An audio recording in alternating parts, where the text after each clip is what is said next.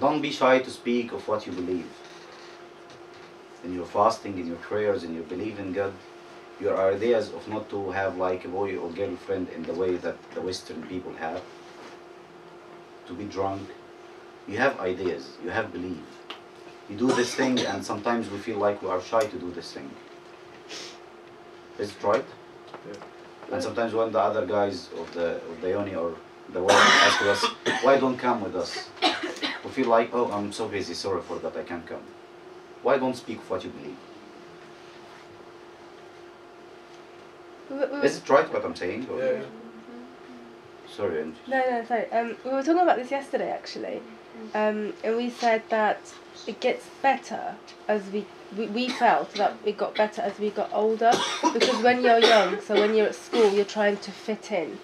So you know, if if you give anything, if you say anything that makes you different from the rest, because you want to be normal, you want to be like all the other children. You want to in. So you, so you, you know, if they ask you, um, as we were talking yesterday, you know, what are you doing on Sunday? Oh, I'm hanging out with friends. I'm I'm doing this, I'm staying with family. We don't say that we're doing something different. But I think as we get older, because we've formed our identity, we know who we are as people. Yeah.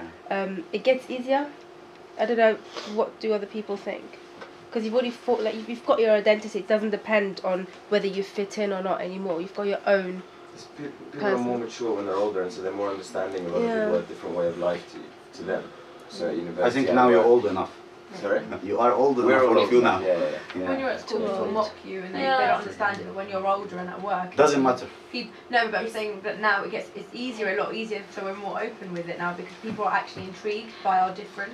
Whereas when you're at school, they think your indifference is seen as something to laugh about, something strange to laugh about. But Mm. because, like Neda said, that everyone's I mature. don't think it gets easier. I think it gets more difficult. Do you think about I it think- before? I I think we, don't. I- we, we, speak we were discussing yesterday. yesterday and we were Spoke saying about a lot of things yesterday. like personally as well we were saying it's easier if you just set your your like level when you're going somewhere. Like for example i was saying yesterday for myself i know at school at first i was a bit sort of shy and embarrassed to talk about you know my spiritual life and that i go to church on sunday. Whereas when i got to uni i realized i don't want to make those same mistakes. So i went in straight away and from the first uh, you know i didn't walk in and be like hi i go to church on sunday. But you know straight straight away You you mark. yeah, exactly. I, I was open about things straight away, so I didn't need to then, you know, hide things later. Because at school, you you're like, oh no no yeah, I'm seeing friends at the weekend or whatever. But then it comes to like Easter and Holy Weekend, you have to say I'm going to church, and your friends are like, oh, you've never mentioned that before. Yeah. So it's easier when you just set that level because then everyone just automatically knows that's how you are. Mm. Like me and Sally were saying at like at work that because we've done that now when they go, all go out they respect that we don't and we're not seen as less or we don't, we're not left out of any sort of atmosphere because of that. But they just know from the beginning that's what you know are like morals. Sorry, what, sorry, can I just say something about what Vivian mentioned? About that? what? About what Vivian said about why you can't speak about your experiences Yeah, with yeah. I think um, so. Obviously, that was saying that the true, deep experiences that you have that are personal to you are so holy that it, you you can't utter, you can't. Um, there are no words to describe how holy and beautiful the experiences you have with God. But that's not to say anyone who experiences anything with God can't speak about it. The whole Bible is written by people who had experiences with God and talked about it. And God's given this Bible for us as a tool to talk to other people about and with. And you can talk to them using things that God has given you to talk about. But I think the Pope was saying that anyone, who, when you have a truly intimate moment that's personal to you, for example, Enoch lived with God his whole life, all his experiences were personal to him. The 40 days after the resurrection were close, intimate times for the apostles, for them, to teach them, to make them grow. So all this stuff is, is personal and it's extremely holy experiences that they have. So that's why it's too holy to talk about. But there are plenty of other resources that you can use to talk to people about God with, and God has provided us with these resources to use. Hence, the Pope's book, for example, as one. Do you see what I'm saying? Like the Pope's obviously had very holy experiences, but he's talking to others to teach others about how to attain these similar experiences. He doesn't tell you about his personal experiences, but he teaches us how to attain them and what the beauty of them is. Yes, and I think. Well, I, I don't think you have to tell them about your experiences. They should, they should see Christ just in the way that you are, in the way that you act. If they see you as always being happy, as always being calm, as always being kind, they will eventually, and then you start talking to them, I'm a Christian, I'm a that, they start to clock that you're like that because you're a Christian and because of your relationship from God. And that's what the relationship gives you. You don't necessarily have to actually physically say, he did this for me, he did that for me. It should just be evident in the way you're living your life. Um, the prophet Moses spent 40 days with the Lord on Mount Sinai without. Right, just put- Oh, sorry, yeah, no, no, it's just 'cause- No, no, look, wait. That's what he just said though. He just made that point. No, no, but he about says- and Enoch couldn't know. No, no, no, read it it. says No, without say well speaking enough. of what the Lord had said to him, without telling how deep their association had been. But even in like Exodus, it says Moses was talking with the Lord as if he was having a conversation face to face. So like, it's like knowing the degree of the extent of like, sh- like, it's for our benefit to know he was so close with God that it was like speaking with him face to face. But like the Pope says, without telling how deep their association had been. Thank you. Thanks, Mark. Uh, I'll tell you something, guys. Uh, we are not gonna to like have the Bible in our hands and preach everywhere. It's for some people who is called by God, and may may one of you be like this. At the same time, some people preaching about God, as Fadi said, not on, not only by speaking, by acting, by deeds, by works. And it's a story about one guy. He went to, uh, I think, Arab country, and he started preaching the name of Christ there. So they put him in a prison and forbidden him to speak about this name again. When he go out, he didn't speak, but his acts attract everybody around. The most of this country become Christian. So they bring brought him again and asked him, "Did you speak about this name again?" He said, "No, I didn't." But by his deeds, his actions, his works, his relations, his dealings with others, most of the country become Christians. But I'm speak about that when somebody asks you about anything that you believe, why don't show him your belief? Not like go deep in your spiritual life with God. Just I believe in God, I believe in the Bible, I believe that Jesus Christ was born, I believe that He's crucified, resurrected from the death. Why would be shy about to speak about this?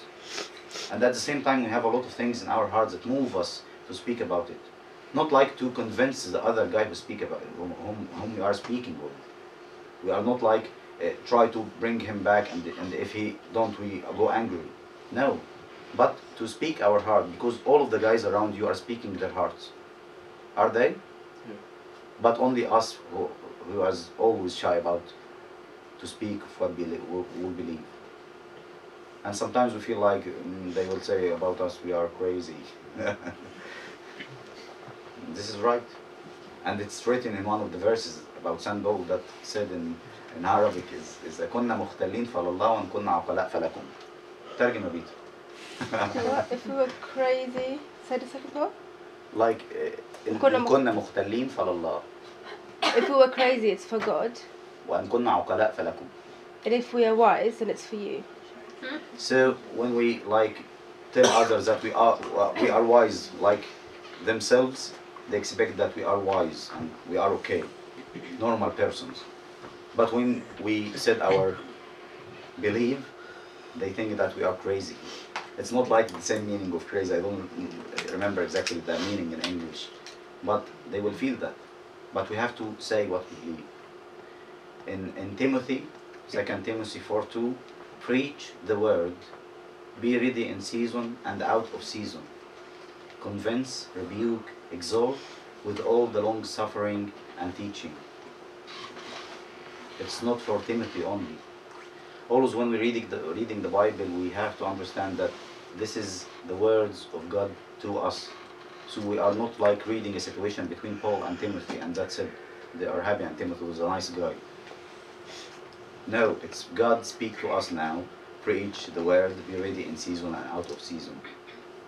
We have to speak about we have we believe. All of you, if we like expect that all of us now are shy to speak about what we believe. And we have lots of, of, of Christian guys in London, Croydon, everywhere. And all of them are shy.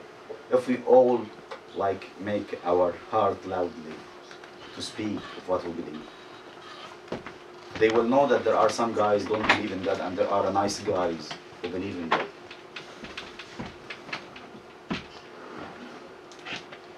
I will close to the points very quick, and uh, that's it. Yeah, it's the end of my talk. It's first my relationship with God, and it is not through. It's not through talking. Practically. Practically. Second thing, put God instead of you in every situation and remember always that you are ambassador for Christ.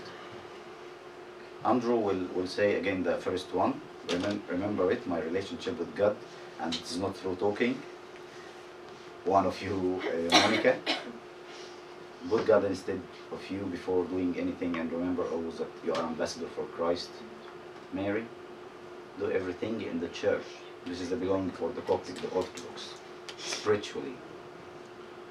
Forget all the, the things that you do like by automatic way you do it in when, you get in the church and do everything spiritually and remember that not of the letter but of the spirit. The letter kills but the spirit gives life. Sally, don't act like or showing others that you are a spiritual guy and in that time we uh, uh, mentioned the elder son in the prodigal son parable. Michael, don't be shy to speak of what you believe, but always believe. And we uh, remember 2 Timothy 4 2 was preach the word, be ready in season, convince, rebuke, exhort with all long sufferings and teaching. So the first one, yeah, Nader. Andrew, thank you. No. Um, my relationship with God should be through actions and not just words. yeah. Mary, Mariam. Um, to be an ambassador of Christ. Is that right? Yeah, put God before you. Put God first before you and do everything. So be an ambassador of God. Peter. The Orthodox Church. Uh, do everything spiritually, uh, sort like um, worshipping, uh, kissing icons, etc. It needs to be done all spiritually and not just actions. Yeah. And Miriam, we remind in that verse that we are, The third one, or is no, the second one. Uh, is it 2 Corinthians 5 17? You're, you're better than me. so what, what this verse, one word that we are? Yeah, good okay, the, uh, we got three now. Mm. The fourth, the Angie. Don't be shy about what you do, so don't be shy about admitting that you are a Christian and that you go to church. That was that was That's number the five. first six. That's That's a the five. fifth. The fifth. Alright, calm down. Listen. What was that? Oh no no! Don't don't show people that you are a spiritual person by actions. What we remind from the Bible by this? What Uh, we mentioned from the Bible? The elder son. oh yeah. The elder son, Mari- Mariana. Um, the the preach. Very good. what the verse we mentioned? like if you can remember any of it. The verse. Um,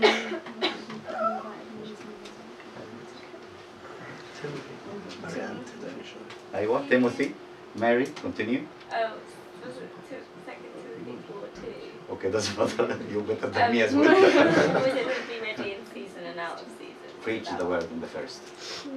Convince, convince, rebuke, um, exhort. exhort. With long sufferings